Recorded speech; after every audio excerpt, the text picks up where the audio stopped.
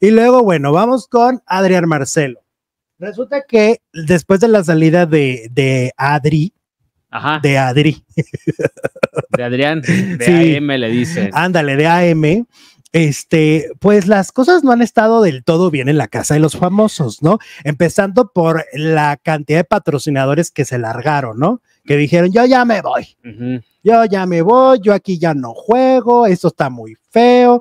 Y entonces la casa está desmantelada, los pobres ya no tienen helados. El, el único, fíjate, eh, ojalá y todo mundo fuera como, como Coca-Cola de fiel, porque hay Coca-Cola. Parra y Coca-Cola no hay dos. Ajá, ahí sigue Coca-Cola a todo lo que da, ¿no? Pero bueno, por ejemplo, Sofía Rivera, la que participó en la anterior temporada, que es la esposa de Eduardo Videgaray, habló sobre la cancelación a, a M, ¿no? A Adrián Marcelo y dijo este en una reciente entrevista, déjame busco la declaración. Ay, Dios, espérate que ya se me perdió aquí. Ah, aquí está. Dice, Adrián Marcelo no tuvo problemas con todas las mujeres, sino con una mujer. Yo puedo decir que he tenido problemas con algunos hom- hombres, mas no con todos los hombres. Es lo que dijo Sofía Rivera. Ay, no, Sofía, qué brillante, ¿no? O sea, tuvo, tuvo, ¿cuántas hay ahí? Pues sí, claro. Hay Pero como tres o cuatro, estuvo con una, pues sí, y las demás son sus amigas y la apoyan, o sea. Pero aparte la vitrina en la que lo dijo. O sea, es una vitrina enorme. Es una vitrina que si bien no son un ejemplo a seguir, yo no conozco a alguien que diga, ay, voy a, voy a ver a los de la casa, de los famosos, para basar mis principios y valores. Ajá. Pero, pero es una vitrina. Es un espacio muy visto. Pero aparte, se, ¿cómo dice? Se metió con, con- con- tuvo problemas con una, pero qué problemas, casi no la desequilibra para, para toda su vida. Sí. Y aparte los términos que usaba, ¿no? No, Eh, no, no, Sofía sí, ay, Sofía.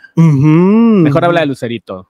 Yo creo que es por eso, que como ya ella también la cancelaron y la funaron, Ajá, pues del- ahorita está del pone del lado de los funados. claro. Claro, y es Sofía dice que ellos sí podrían ser amigos porque tienen el mismo Sí, pues sentido sí. del humor, pero dice que, pero se puso sensible con el Team Infierno. Es cierto, con lo del Team Infierno, ¿te acuerdas que se puso muy delicadita? De yo no juego así, yo no juego así, me cambio de cuarto. Y entonces, ¿de qué está hablando? ¿De cuál sentido del humor? Pues yo tampoco entiendo, es que son tan incongruentes, Ajá. la neta.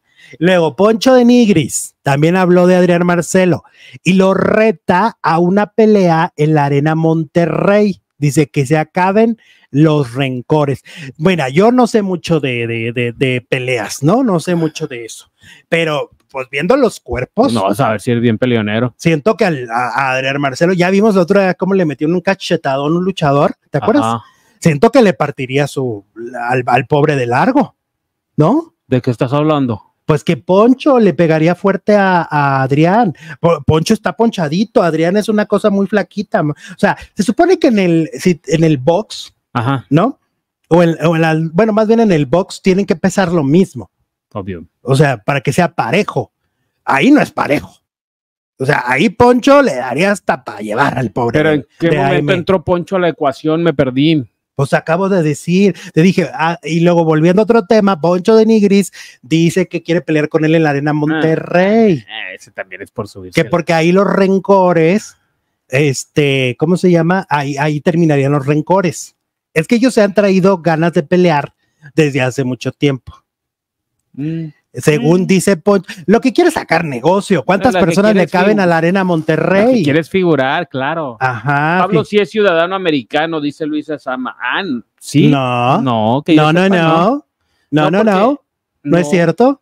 No, no, no, porque ah, eh, hay una nota de que lo van a deportar. Deportar. No, eh, aparte Wikipedia no dice que sea, ya ves que Wikipedia está muy informada y dice que es mexicano, nacido en Mazatlán el 18 de noviembre de 1986, actor mexicano. No, no, no, o sea, hay un proceso, los abogados, ahí sí estás mal, mi Luisa. Hay un proceso y puedes buscar las entrevistas de los abogados donde hablan de que hay un proceso para que lo deporten. Claro, Si fuera ciudadano americano, no habría posibilidad de deportación.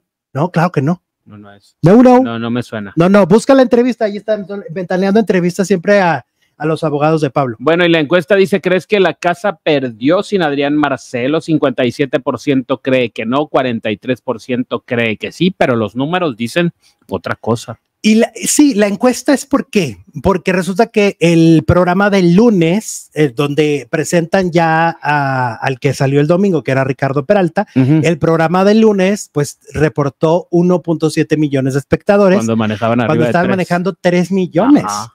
Es decir, ha, se ha perdido el interés porque se ha perdido la tensión. Ya no hay tensión no hay dentro de la casa, ¿no? Ajá. Es como cuando en las novelas, ¿te acuerdas lo que acaba de pasar en El amor no tiene receta? Que, que cuando a Ginebra la descubren a la mitad de la novela, ahí se acabó la novela. Esa telenovela, lo que siguió fue aburrido. Lo que siguió estuvo de más. Todavía tenías, te- seguía teniendo villana, Sí, no la mataron. pero ya no era. pero la descubrieron, villana. la desenmascararon. Algo así sucedió con esta, Nos guste con esta telenovela. o no, Adrián Marcelo era la tensión, el, el- ¿qué, va, qué va a hacer ahora en los posicionamientos? ¿A quién le va a decir? ¿Qué, qué otra cosa va a hacer? pues y ahí sí, estábamos todos pendientes con las palomitas. claro. Y ahorita ya no, ¿cuál palomitas? Oye, sí, deberían de revivirlo como a Soraya en Mariela del Barrio, ¿no? Que de repente aparezca, Brami, no me fui, aquí estoy, ¿no?